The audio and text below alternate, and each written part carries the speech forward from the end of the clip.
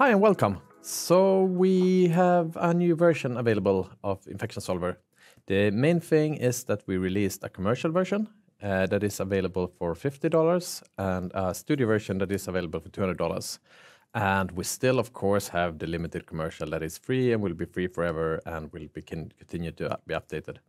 So yeah, you can just continue as you did. But if you feel like you want the commercial version and you have a revenue that's high enough that you need it, uh, we thought that maybe you could pay us fifty dollars. That felt nice. I don't know. Uh, well, uh, but let's look at what we have added so far. So just going to drop down a geo node. And the first thing we have that you might notice is that uh, we have uh, added some small thumbnails. And we also updated the configure node. So if you just do configure uh, an infection configure base, which is like gives you a base kind of thing. So you just get a grid and you get some scatter and nothing more, kind of. So we have something like this just set up for us, and we can then do just a wrangle to say that some particles has density. Just gonna uh, do like this and say that they have a density of one just to get started. To one, cool. So first thing you notice in here is that if we put down like an infection grow, you see that we have these small thumbnails for every node. So infection eyes, you can see you can also see if we write here, we can see that we have different kind of, yeah. Hopefully you can see what it is at some degree. So that's very nice. And what we also added, we can keep the ice growth here because I want to show you that. What we also added is this nice help buttons. So if you click this one, you will get uh, the Wikipedia page, which shows you small GIFs and different settings, etc., etc. And this is these are quite nice to just look at. I actually use them myself. So just bring up this and you see ice growth here, and it explains everything to you. And I strongly recommend you looking at these things. We have all, if you just look for microsolvers here, can see that we have all microsolvers listed here. So that's kind of nice. And we also have some like uh, details on different workflows, like tag and animation, how you set that up, and things like that. So that that re could really help you get going. So that's one nice thing. Uh, another thing we added is uh, a very minor thing, but when we use noise on nodes now, have an attribute here called noise name, which defaults just take the operator string. And what you could do afterwards, if you use this noise, for example, and we play this and we get very little, so we're just gonna add to 25 there or something, add it a bit more, and you can see noise. And you see, okay, it's kind of fine detail noise. So if we just go back down and drop down a color node or visualize or whatever you want to do, you can just do ramp from attribute. And what you see here is you will find this stop infection grow noise. And you can see how the noise looks. Uh, maybe not random from attribute, but rather ramp from attribute. So you can see here, okay, that's the noise. So we go in and tweak it. We say that, okay, that looks very high frequency We just bring the frequency down to like two, and we play a little bit, and we go back here, and we can see, okay, this is maybe a noise that tweaks the growth a little bit better. So that's a minor thing, but quite nice. Um, we also, yeah, we have all these kind of configurations that is been updated. Uh, so you can do configure animation, you can do configure reaction diffusion, for example whatever you want to do, just get started. So that looks a bit weird, but yeah, you will get the point. So you drop it down, you can get the reaction diffusion. And then of course you can change what geo comes in there, of course. So these are just similar to like the fire pyro setups that you just have a good starting point. so that's quite nice. Uh, I think at least. So yeah, what else do we have? We yeah we have a few of these. We can see configure here infection configure. So we have animation, ice growth, uh, emit from Geo, reaction diffusion, which should probably be enough to at least understand what's going on. Um, so that's nice. We also updated all our uh, example files, and I think I'm gonna open them because we have The two major updates we've done is to the UV export as well as the copy workflow. So I'm just gonna open up those to show you. Uh, I can show you how that looks. So what we have here is nothing at the moment. Uh, but what you get is these kind of things that explains a little bit what's going on. So what we have here is just an infection initialize thing. And we have that to SOP solver. And then up here we have this sphere going around. And what it does is that it, on the solver, we just have an emit from geo and we have a ray down. So it just infects whatever's below it. And then we just have a tag in here and a grow. So that's nice. Get something like this, quite basic, but yeah, you get the point. And what we can do now is we can use uh, our new, uh, it's not new, but we updated this tool. So first of all, we want to animate the P scale.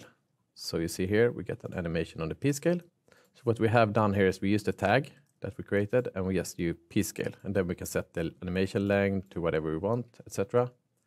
And we can set a randomness of whatever we want as well. So yeah, but we keep it as it was. Uh, so what we do after that is we also add an animation attribute. So this is the same node, but instead of uh, p-scale, we have animation attribute normalized here. You can do it whatever you want, but I recommend using normalized most often. And then we also build an orientation attribute, which we can remove for now. We can skip it so we can see what it does later on. And then we split it up and we merge. So we just keep, see we only have 2000 points now before we had 100,000. So now we just have these points. But since these are done with ID, it's fine that we don't have a constant point count. So what we can do then is we can do a little animation. So I just have a box here and have a band, and that band is kind of dependent on these motion effects, but I mean, it's just to get a little wiggle on it. And if we then were to cache this as an Alembic, just doing save 48 frames of Alembic and reload it, so we have it loaded here. And I just make it bigger because I wanted it bigger. Uh, what we can do now is we can use the animation copy and instead of copy to points, we use Alembic here. And what we can do now is, okay, they kind of off because we don't have the orientation attribute. I used to have that. So let's go back and say uh, build animation, build orientation attribute here. Uh, sorry, uh, settings, build orientation attribute. So we have them correctly oriented. Uh, so now we get these. So we had a P scale that just animates the scale of them, but then we also use the Alembic animation to uh, give them secondary animation, so to speak. And then, of course, we can rotate these around Y, similar as you can do with, you know, everything. So you can just get random to them if you want to. so that's nice. And the reason why it doesn't, if I remove the orientation attribute, it uses normal, and the normal is off compared to an orient. So yeah, that's why it lays flat on the ground. So that's nice. The only thing we have to think about here is the input animation. But the cool thing with this is we set the input animation here, but we can still up here say that we want an animation that is whatever length we want. So we can bring this down to 20 and it animates really fast. You hardly see it. It's just super small when it animates. Or we can bring it up to 200 and it's really slow. Yeah, but I think like 80 was good maybe. So we get this. And of course, you could also change the P-scale animation, so that takes longer. So it takes really long time for it to animate, so it's kind of continuous growth. So you get a little bit more control of this, and of course, this can also be tweaked. And the same goes for this, which is really nice. So we use normalized attributes, and then it's scaled with the animation length. So I think this is a really good update for, I mean, this is a very common task. You want to do stuff and you want to and this can actually be used on things that don't use this uh, infection solver. I use this for other things as well because it's very convenient workflow. So that's really nice. We also have some updates to the UV. So I'm just going to open that example file. Uh, so we have infection UV setup here. Let's discard this. And what we've done there is we've done two things. Uh, so the example file here, you get like a decent resolution version and a low low resolution with dithering. So what we have here is uh, a very basic setup again. So we just have a grow solver, and we just cache this out as a UV map. So what we do is we just plug this in, and we plug in the UV, uh, the, grid it's supposed to be on. And now we actually use UV from the points, so you need to keep the UVs here as well, but that's not really a problem if you scatter or do whatever you want. So, but what we have here now is, yeah, you get this very basic thing. You see it as a volume here, but you can of course go to composite view. Oh, you can't go to composite view like that. You have to go like this. And now if you go to composite view, you see what you actually composite. And if you double click on this, you dive into the grow thing, which is nice as well. So you can in here you can also add comps if you want to. Uh, so I can just blur this as well if I want to. Uh, and we also change so you set the resolution here. So you set a fixed resolution of 1K here or 2K or whatever. And then when you're done, you can just uh, render frame range. But what we also added is if we have a more low res version of this sim, so we just scatter a few points, not that many, and we do yeah, get a kind of broad kind of thing here. And what you get from the start uh, might be a little bit, you know, like this. We kind of lack points, etc. And if you go to composite view, update, you see that we have a little bit of problems with it. You can, of course, uh, add p-scale and stuff to it, but a better option might be to do dithering. So you just scatter new points around the points and jitter them. So that could actually help in many cases. And then, of course, you can dive in here and do stuff as well. Now I have a blur and a sharpen on as well. Might not be needed, but yeah, they're there No. So, so you can dive in, you can do these kind of things. And we also added a little bit of, uh, can also scale the p-scale by UV distortion. So if you have a distorted UV, you can get bigger p-scale where the UV is more distorted and less where it's more dense. So that's kind of convenient as well. And as you can see, we get a decent kind of map from this extremely low res thing. And with a little bit of tweaks in cops, you could like edge blur. You can do stuff that will make it look even better, I think. Um, so that's quite convenient. Um, and I think that's pretty much it. No, I'm going to show you one more thing. So if we just open uh, this flip interaction, thing, example file. Uh, so what we added to the solver is, if you just look down the infection subsolver, you can see it here as well, but most cases, uh, under advanced, we have recalculate near points and we have bypass velocity advection. So what that does is that the recalcul recalculate near points just recalculate the near points basically. So it checks every frame what point is near, etc. And bypass velocity advection just says that the the density should not move with velocity. And the reason for that is uh, if you do that, it's easier. Like if you have a flip or something that moves, you don't want the density to move with it. You just want it to be kept at the particles. So I'm going to show you that. So what we have here is, I'm going to remove it now, is we have this, uh, it's going to do so we don't see other objects here. So we have a very low res uh, field here, which has been initialized as well. And then we have a this kind of dude uh, going down. Cool.